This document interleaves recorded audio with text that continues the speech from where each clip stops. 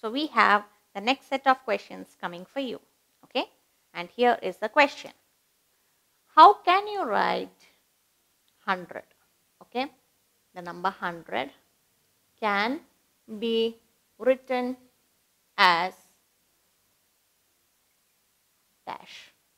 And your option says it is 10 tens and 0 ones. Second option says 1 tens and 10 ones. Your third option says 100 tens and 0 ones. And your fourth option says 1 tens and 100 ones. Okay. So children basically it is a trick question. Okay. So when you see this pattern of question don't get tensed.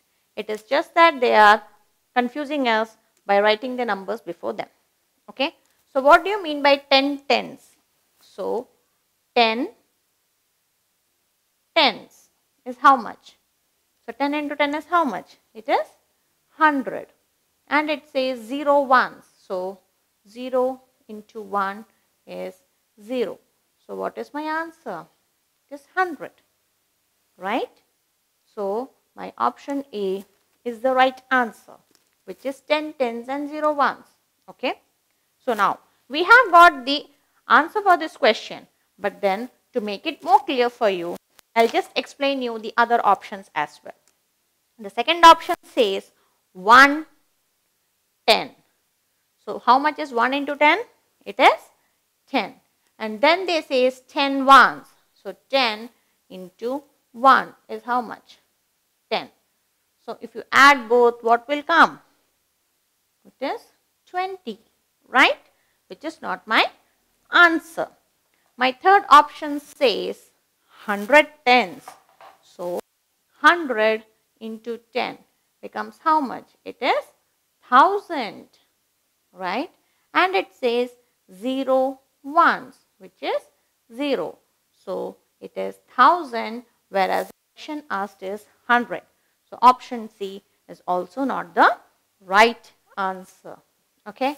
Coming to the last pattern, the last question, it is 1 tens and 100 ones, right? So, 1 into 10 is how much? 10 and 100 ones which is nothing but 100 into 1 it is 100. So if you add, how much will it become? So again, this is not my right answer. So did you understand children? It is just a tricky question. You no need to get tensed about it. Just you have to solve it and figure out the answer. Okay. So make it more clear. I will just give you one more example. Okay.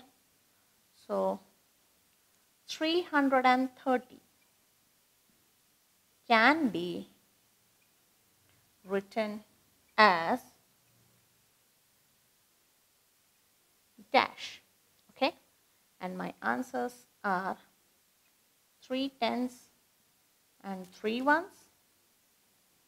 My second option is three tens and 30 ones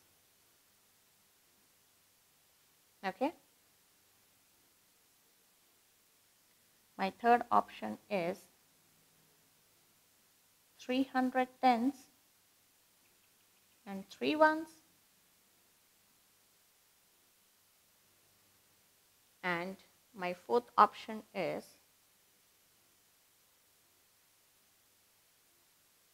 none of these.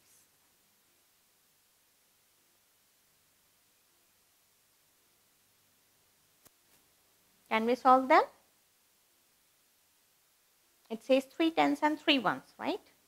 So how will you calculate? It is 3 into 10, which is 30. And it says 3 ones, which is 3 into 1, which is 3. So if you add, your answer should be 33. Is this the answer? No. So option A is not my right answer. Okay. Coming to option B, it says 3 tens which is 3 into 10, 30. Okay. And it says 30 ones. So which means 30 into 1 equals to 30. And if you add, it becomes 60. So is this my right option? No, this is also not my right option. Coming to the third one, it says 310. So 300 into 10 becomes 3000 and 3 ones.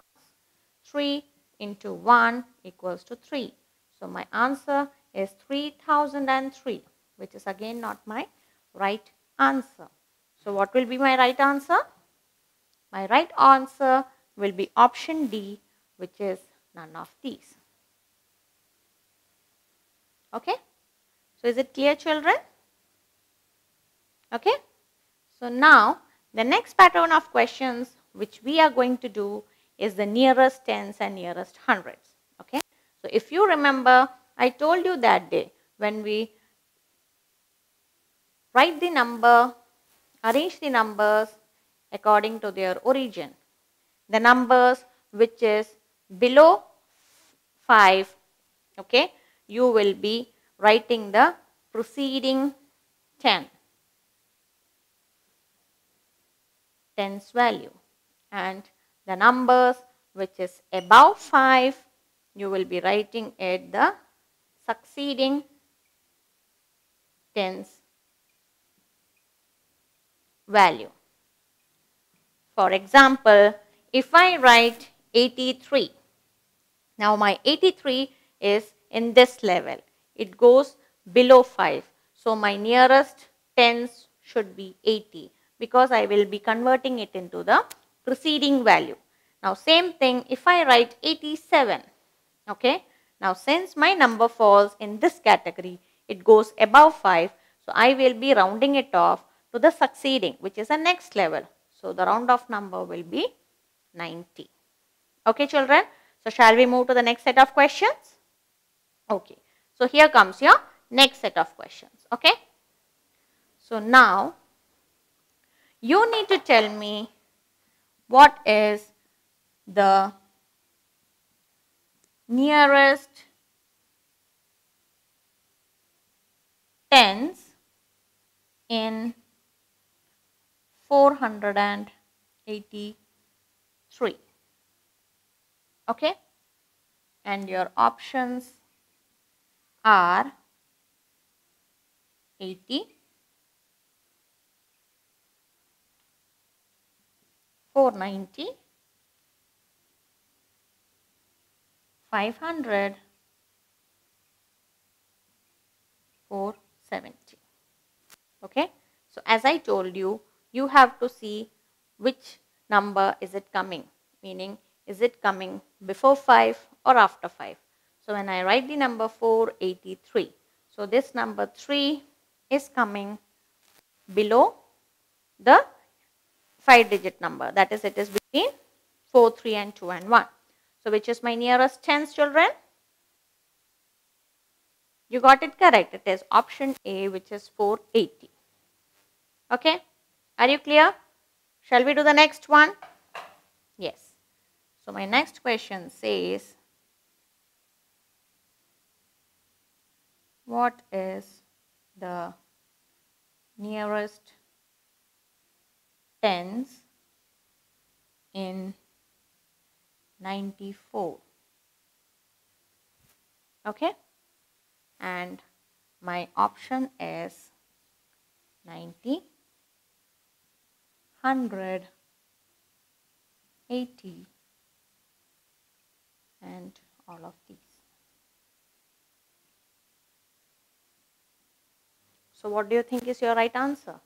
What number is this? It is 4 which is coming below 5.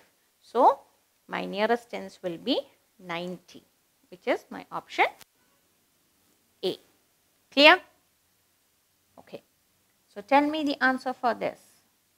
What is the nearest tens in 67? Okay the nearest tens you have to see okay and your options are 60 70 80 or 50. So what number you have to see? You have to see the number 7. Okay. And is it above 5 or below 5? Yes, 7. It is above 5. So you will be rounding it off to the succeeding tens. So what is the next succeeding tens after 67? Good, you got it correct. It is option B which is 70. So children, are you familiar with the nearest tens and hundreds? Okay, I'll give you few more questions to practice on the same topic. So children, now we are going to practice little bit sums on nearest tens and nearest ones and hundreds as well. Okay. So do you remember what I have taught you in your previous class? Yes. So whenever a number is 5 and below, okay. In fact, you can say 4, 3, 2, 1.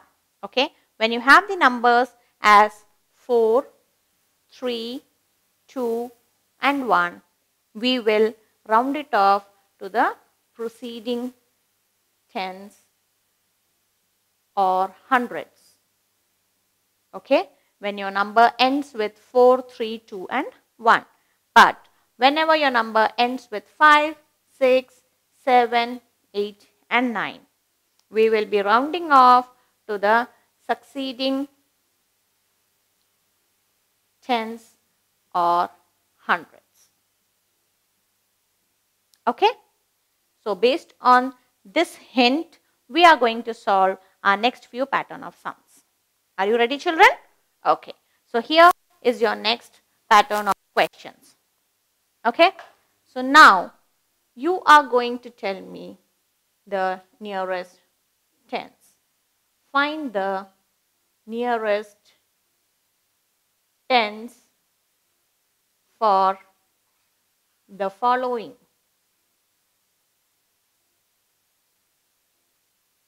Okay. Okay. My first question is, you need to tell me the nearest 10 for 95. And my options are 90, 100, 80 and 110. Okay. So, if you remember what did I say earlier? if my number is 5 and above. So, which means that it will be converted to the succeeding tens value. Okay. So, after 90, the next number which is nearing the tens value is 100, right?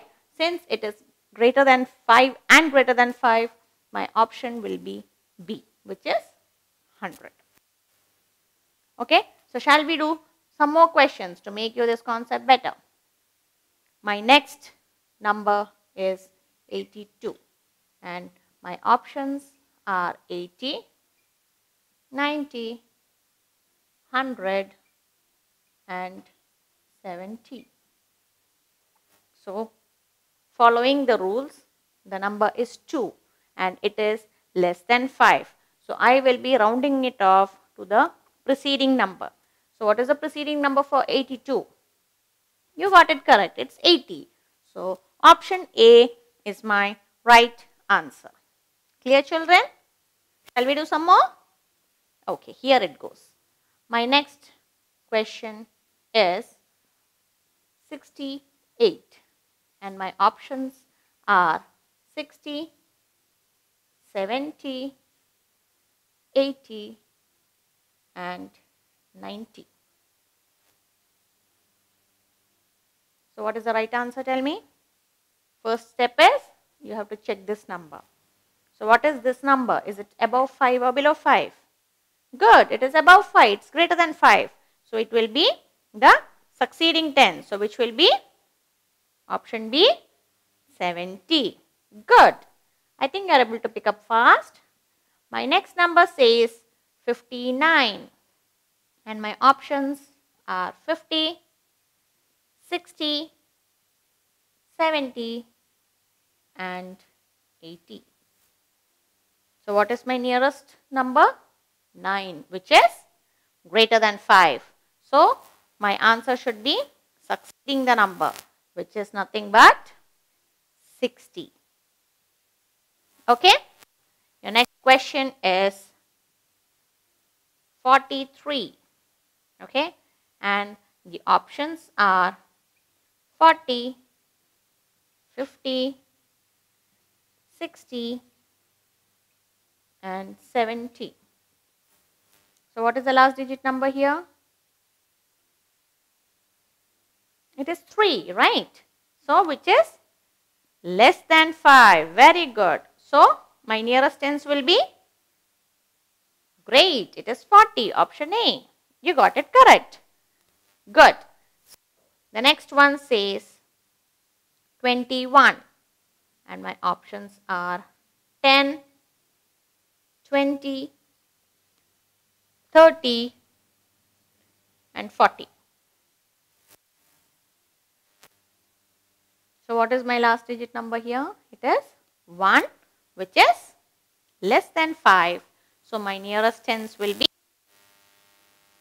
good. It is 20.